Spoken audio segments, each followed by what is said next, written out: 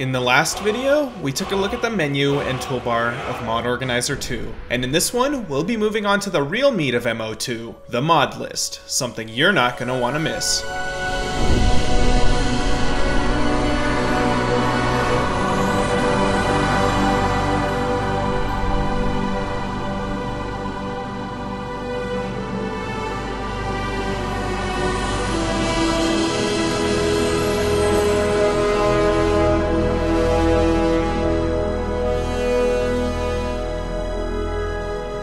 Before going on, remember to like the video so we can circulate it around the internet and help others mod their game. Hit the subscribe button and the notification bell so you don't miss any more modding guides. Check out my Discord in the description if you have any questions or leave them in the comments. I do my best to answer them as quickly as I can. Lastly, if you don't understand any information, it was covered in my prior guides, so check out the entire playlist down below if this is your first video.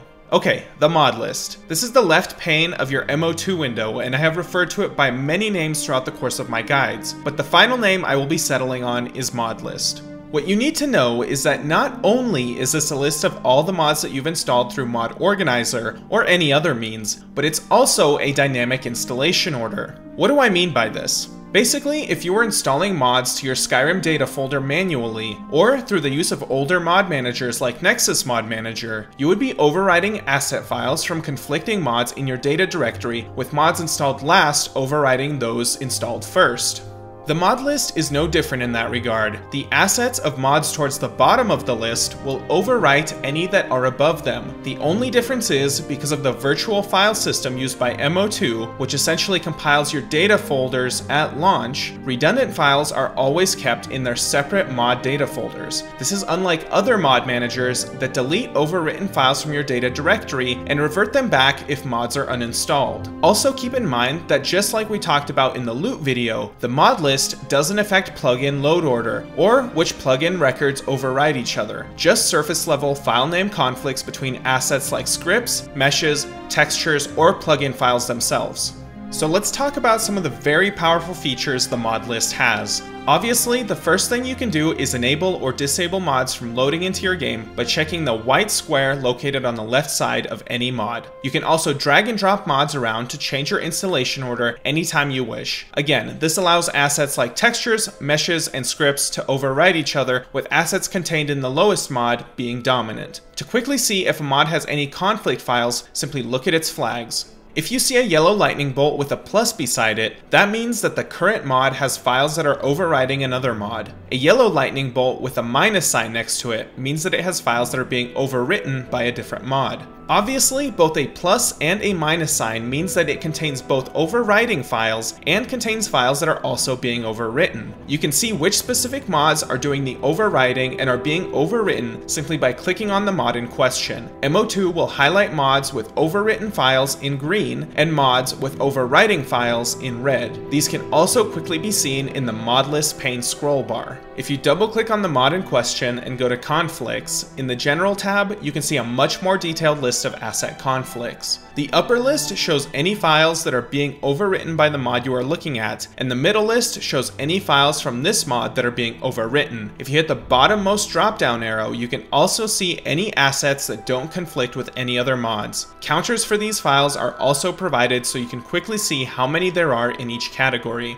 If you click on the Advanced tab, you can see a complete list of files included in the mod in one list and their conflicts or lack thereof. You can also search for specific files or apply filters to the list. Additionally, you can also hide any file from the Conflicts tab by right-clicking it and selecting Hide. This will prevent it from being loaded in-game and cause the preceding mods file to show up instead if there are no other overwrites. Back to the mod list flags though. A few other noteworthy ones include the white lightning bolt, which means that all files in a given mod are being overwritten, effectively rendering it useless in your load order. A green chess piece with a question mark, which denotes that a certain mod has come from a Nexus page different from the game you are modding. That one in particular comes up often when modding Skyrim SE, as some original edition mods are compatible with Special Edition, or can become compatible through some minor tweaks, so you may want to use them in your game. If you don't port them properly, however, they can cause crashes, so be careful when doing that. The other one you'll see a lot is a heart with a question mark, which means that you haven't endorsed the mod you are using. To remove it, simply right click on the mod and hit endorse. If there are any other flags you don't recognize, you can simply hover over them and a description will pop up telling you why they are present.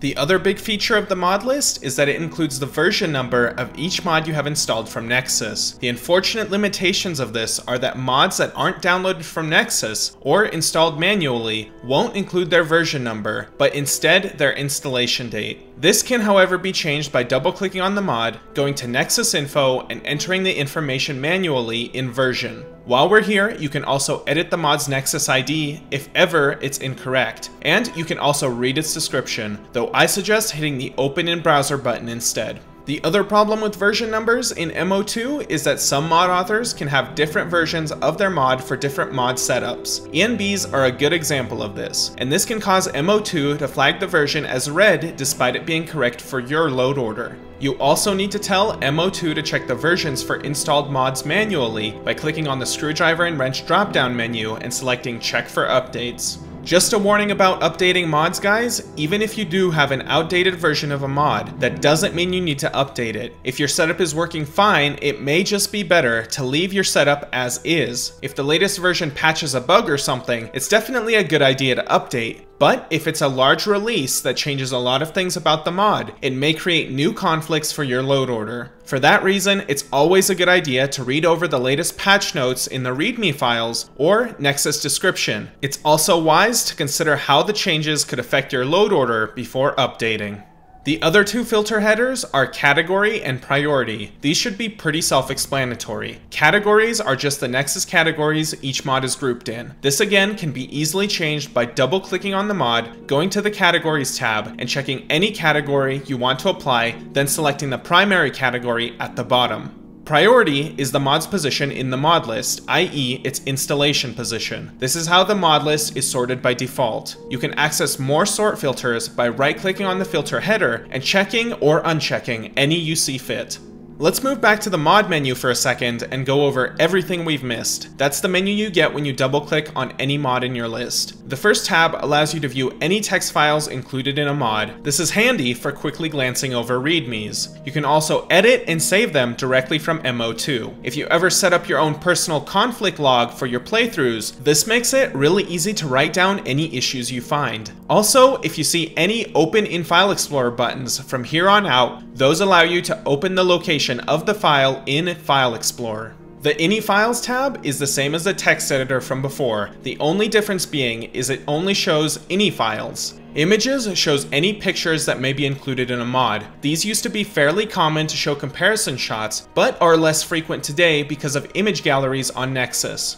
Optional ESPs is a tab you may find yourself using from time to time. By moving any available ESPs installed in a mod into the optional section, you can hide the plugin from MO2 which will prevent it from being loaded in-game or showing up in your load order. Unfortunately, any ESPs set to optional are independent of any profiles that you may have created, so hidden plugins remain hidden in all of your profiles, which could cause issues if you forget about any plugins you may have hidden like this. If you have a mod merged with a patch plugin that is required for one profile and not the other, I would just suggest installing two versions of the mod, one with and one without the patch, then enabling or disabling it in both of the mod lists. This will remove the chances for manual errors. Where you might find this useful though is when installing something like a FOMOD and you find a patch for a mod you plan on installing later. Rather than halting the installation process and installing the other mod, you can install the patch first and hide it, then install the other mod when you wish. You can then move the patch back to available ESPs when you're ready to use it. The Notes tab allows you to write personal messages about any mod you have. You can write a small comment at the top that shows up in the Notes column of the mod list if it's enabled, but longer notes can also be written in the bottom text box and can be seen when hovering over the mod's Notes column or flag column. The last tab, File Tree, shows every file located in a mod the same way you would see them in File Explorer. You can open any files through your default run program by right-clicking and selecting Open slash Execute. You can also do most other things like you do in File Explorer, like create folders, rename files, and delete files. You can also hide any file or folder from here as well. Lastly, if you are unsatisfied with MO2's file management interface, you can open any file or folder in File Explorer using any of the Open in Explorer buttons. The final thing I want to show you about the mod menu is that any tab can be dragged around and repositioned, with the first tab opening by default. Because I use the file tree tab so much, I like to place it first to avoid any unnecessary clicks, but you can rearrange them in whatever way makes sense to you. Perhaps one of the biggest features of MO2 is the fact that you can have multiple mod lists through the use of profiles. These can be accessed just above the mod list pane via a drop-down list. You can create profiles through the use of the toolbar profiles icon as mentioned in the last video, or through the manage button in the drop-down list. When you select a different profile, the list of enabled mods will change and you can independently rearrange the list from one another in the mod list pane. Profiles and versatile installation order management are incredibly powerful when used in tandem to resolve mod conflicts. Even if you don't know what any of your mods change in game, you can find the one or two mods that are the source of the conflict simply by duplicating your main profile and applying trial and error and the process of elimination. By slowly disabling active mods and testing the issue in-game, you can find the problematic mods in your test profile, then make the appropriate changes to your main profile by installing a patch or removing one of the mods entirely.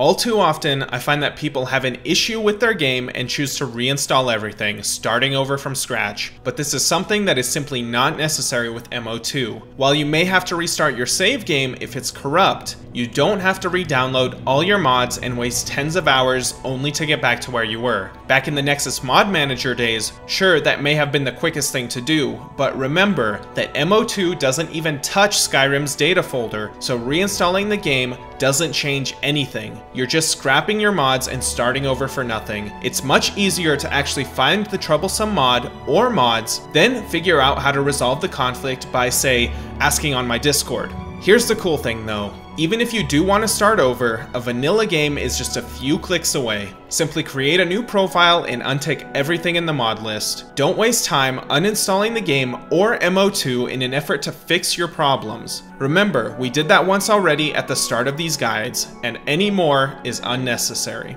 Okay, let's go over the rest of the buttons above the mod list. The screwdriver and wrench dropdown allows you to easily edit the mod list by enabling or disabling visible mods. These buttons couple nicely with the bottom filter which allows you to search for mods, just be sure not to touch these when you are viewing your entire mod list. In the same drop-down menu, you can also install a mod manually, create an empty mod, or create a separator. Empty mods are useful for storing generated files from mods like Fore's New Idles in Skyrim or Perma, and separators allow you to visually separate the mod list for yourself. Under the screwdriver and wrench dropdown, you can also find a refresh button for the GUI. This is useful if you've installed a mod to the MO2 mods folder manually and need the mod list to update within MO2. Finally, you can also find a button to export your mod list to a comma separated value file, which is basically a written spreadsheet of your mod order.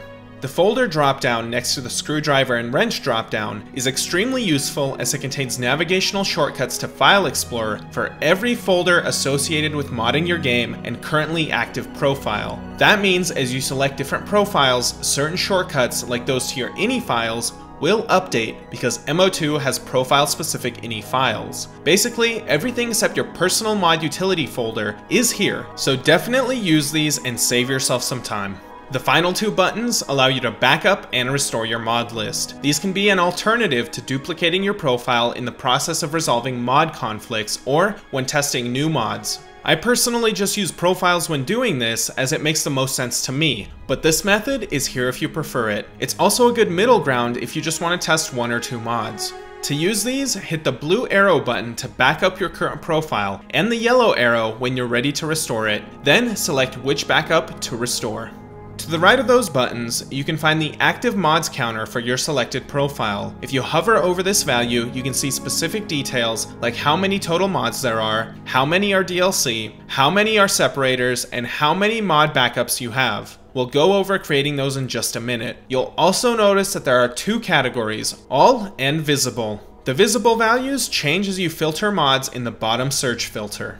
Alright, let's go back to the mod list for a minute and check out the right click menu. When you right click a mod in the list, an action menu will appear, which offers many of the features we have already covered. Under All Mods, you can find the same buttons you have in the Screwdriver and Wrench dropdown. You can change the selected mods categories and primary category, and force check the mod for updates. You can also enable or disable all the selected mods you've shift clicked or control clicked on. Selected mods are highlighted in blue. Using Send, you can move selected mods to the top or bottom of your list, or even specify a priority location or separator. The right-click menu also allows you to rename, remove, or reinstall any mod, and has quick links to its Nexus page and location on your drive. You can also create a backup of any mod here. Right-clicking a backup in your mod list will allow you to restore or remove it. If you're going to be playing around with files of any specific mods, backing them up first is always a great idea, as they are not profile specific.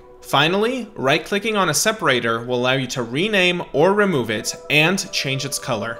Alright, we're getting close. Now let's finish up by talking about what's below the mod list. The search filter obviously allows you to search for items in the mod list, but what you may not have known is that you can search for multiple items through the use of the pipe character to separate your search terms. The pipe character is a vertical line located just under your backspace if you didn't know. So if I typed in something like SkyUI space pipe space SKSE, everything that contains SkyUI or SKSE will appear in the mod list. You can also repeat the pipe multiple times in your search as well. The groups drop-down list to the left of the search filter gives you alternate ways to sort your mod list. I've never used anything besides no groups, but if you've used it and know what it's useful for, let me know down below. Finally, the leftmost filter area allows you to view filter categories for your mod list. Many of these are just Nexus categories, however, there are also MO2 specific categories based on either their state in the MO2 mod list or the files they contain. The MO2 specific category filters are denoted by their angle brackets. You can select one of the filters by simply clicking on it, or multiple by control clicking. For instance, let's say I wanted to see checked mods that also contained INI files that are listed under environment on Nexus. I would select those three criteria, and as you can see, the only mod that fits all of those for me is Obsidian Weathers and Seasons. But now let's say I wanted to see mods that just contain INI files or were environmental. I would then control click checked to remove that filter because we don't want to see all the mods that are checked and hit the OR bubble at the bottom. Now I can see all the mods that contain any of the selected filter categories. To clear the filters, I can simply hit clear or clear all filters below my mod list. Be sure to tick back the AND bubble so you don't end up with an empty mod list. As you can see, with MO2, the methods for filtering and searching mods are nearly limitless, and irreplaceable when it comes to troubleshooting or tinkering around with your mod list. Doing something like filtering all your SKSE dependent mods or scripted mods is something you can't do with Vortex, but is two clicks away in MO2, yet another reason to use MO2 over any other mod manager out there. Hopefully now that you've seen this video, you know how to navigate your way around the MO2 mod list a little better. It's kind of a lot to take in, I know, but just remember this video for the future when you're trying to find a specific feature in MO2. In the next video, we'll talk about the right pane and all the tabs included in it. At that point, you'll know just about everything in MO2 and we'll be able to get into the more nitty gritty aspects of modding, from log generation to automated patchers and manual record editing. Thanks for watching. Remember to like the video to help spread it around the internet. Tell me how you feel about MO2 after watching this video. Were you surprised to learn anything, or did you have everything down pat? Subscribe and hit the notification bell so you don't miss the next upload. Next video is to the right if it's out, and the guide overview is to the left. See you in the next one.